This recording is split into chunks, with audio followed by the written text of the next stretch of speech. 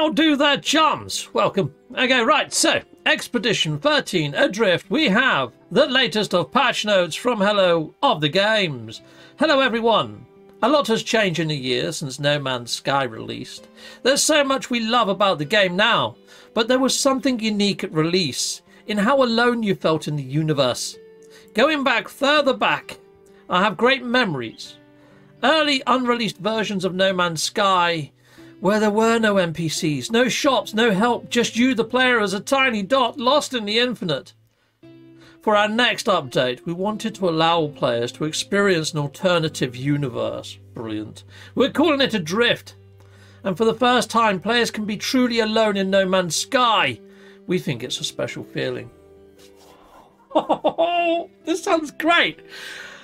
This is probably already probably one of the best expeditions ever. Okay, well let's let's uh, scroll on down and let let's hit this. Now I do want to mute it though.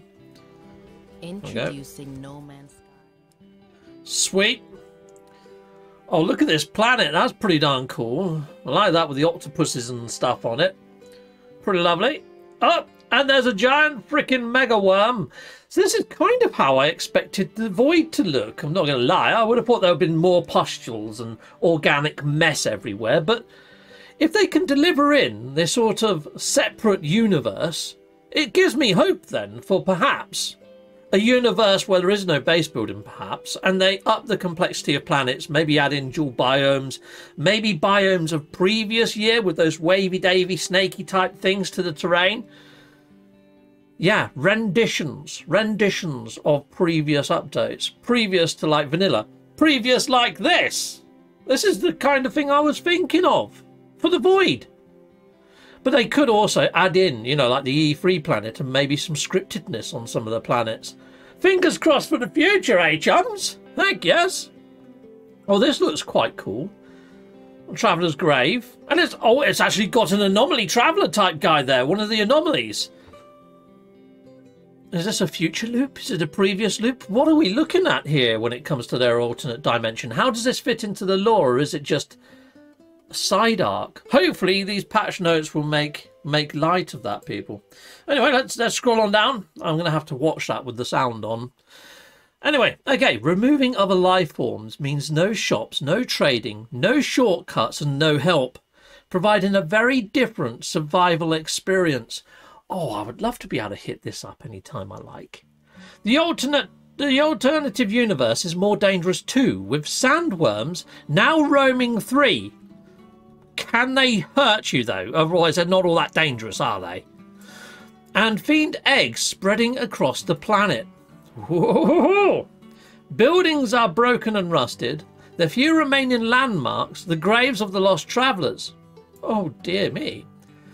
In space, a new ghostly frigate beckons, allowing players to recruit a piece of this lonely universe.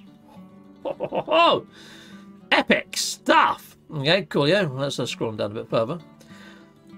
Is that, that's an abandoned station. It's not the new space station models. Okay, cool, cool, cool, cool. To help provide safe haven is a new bulky hauler starship called the Iron Vulture. Since we added ship customization in our last update, we're also seeding the game with lots of new customization options in Adrift. So I think that's just in Adrift. Or is that the Adrift update is now seeding these customizable parts inside of the game? Can we find these on planets? That's a bit freaking vague, isn't it? I'm not 100% sure whether it has actually added them into the game or just the expedition. It depends how you interpretate that sentence. Adrift was supposed to be our next expedition, which it is, but it's ballooned out into an update filled with improvements, new unique gameplay content, and rewards. I wonder if there is a way to get to these abandoned type systems inside of game where everything. Oh. I did have a try at that earlier. I went to Galaxy 256. If you didn't see that video, I put a link up there. But maybe I didn't look around enough, people. Might have to jump back over and have another little gander. Anyway, we're all We're already two huge updates into the year with the release of Omega, where we invited everyone to try the game for free, and Orbital, which overhauled space stations and introduced long requested feature Starship customization.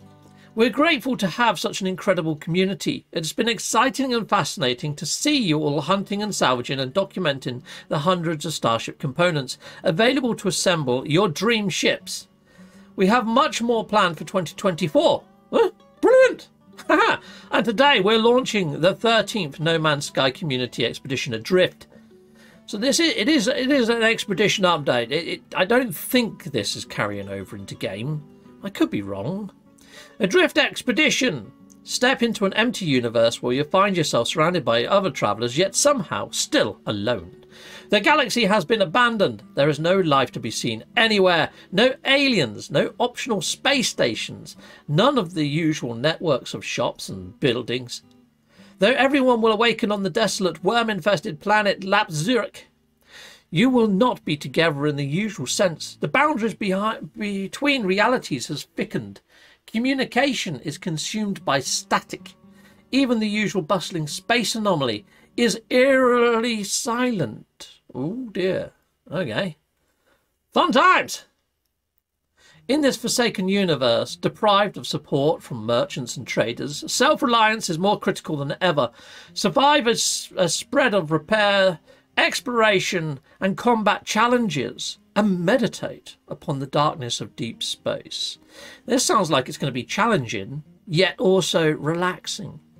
What a paradox. I can't fricking wait.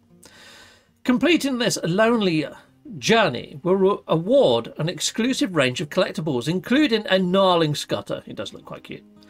Companion, and a supply of Starship stealth paint, a ghostly frigate, and a unique Iron Vulture starship. It does look freaking lovely. It looks like something out of freaking Matrix or something, doesn't it? Like the Nebuchadnezzar or whatever it's called. Begin the adrift expedition from the expedition terminus aboard the Space Anomaly or from a fresh new save, which may be converted to normal mode later, I guess after you complete it and all that sort of shenanigans. All the exclusive rewards earned from completing the expedition phases may be redeemed across all save games, courtesy of the Space Anomaly Quicksilver Synthesis Companion. Adrift begins today and will approximately run for seven weeks. Seven weeks. And it says there it's going to start today. Like today, today. Holy fudge, what am I doing doing this video? I should be doing that. I, would imagine it's going to be, maybe, might even be now. Fudge. Okay, cool, yeah. A busy bumblebee today. Adrift Expedition Rewards. Here we go. There's a load of posters as well. I'm going to have to get on the old translator to work out what these things fricking say. Hey. Lovely jubbly. Stealth paint. Oh, is it actually going to give us black now? I think. Oh, that's just made a lot of people happy as Larry. That's that's freaking lovely, isn't it? Ah, oh, man. I, I might have to make my ships a little bit darker and a little bit redder. Yes. Oh, that is gnarly. I love it. I like it a lot. Um, but that opens up the door for all sorts of shaders, doesn't it? I would love to have a Nexus shader deck. You know, like it's got all those Tron lines in the Nexus, all the neon lines. I would like that on my ship. I like it to look quite groovy, like a mobile disco. A bit like my room behind me when I haven't got my green screen on. Freaking lovely. Check this out as well. You've got all these scrapyard parts. Hussam! That looks pretty darn freaking gnarly, doesn't it? Yes, make your own ship scrapping yard. It'd be nice if we could get our own ship outfitter for bases, put it amongst all those parts so it looks like you've made a little junkyard at your base. Ugh, very lovely. And there's a little scuttering companion. It's quite cute. And the Ship of the Damned, this abandoned frigate with an eerie sort of feel. I don't know whether I like that amongst the other ones that I've got. I think it's just going to look slightly janky and out of place. But mm, I'll have to look at its stats, won't I? The Iron Vulture, here we go. Transport vast quantities of cargo across the galaxy in this stylish high capacity hauler. So I wonder if it's got more capacity than our usual hauler. Featuring a unique silhouette and industrial metal finish. Lovely. The ironclad metal finish may be applied to any newly constructed starship in the fabricator. Heck yes! Additionally, the Iron Vulture can be scrapped. What? And its components utilized in the manufacture of a new hauler. Ooh. But I love that. I love everything about this. I don't think I'd want to take it apart. It looks freaking spectacular. Cool.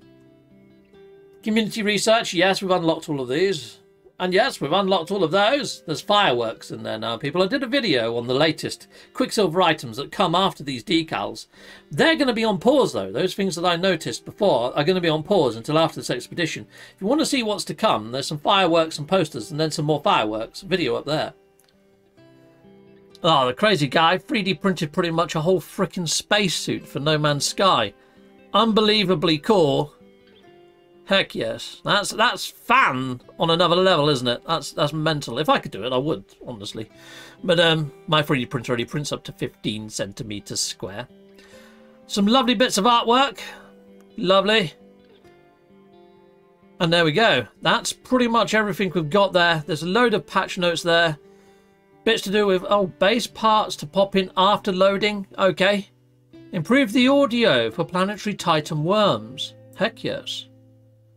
Okay, so there's a few in there that are quality of life. I'm seeing a few. Seeing a few, and that's, that's pretty nice. Okay. Few improved visuals. Huh, nice. Fixed allows markers belonging to the same resource to be managed together when part of the same clump. Hmm.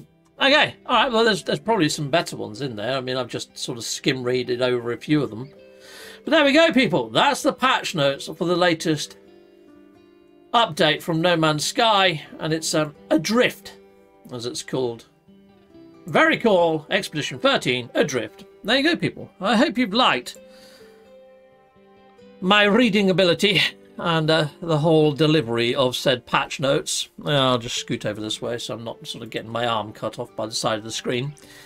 But there we go, people. That's pretty much everything I've got for you. Hopefully you're already enjoying this expedition. I didn't realise it was available now, as it says there in the patch notes. It's probably not, you know. It, it probably isn't just yet, but uh, it might be.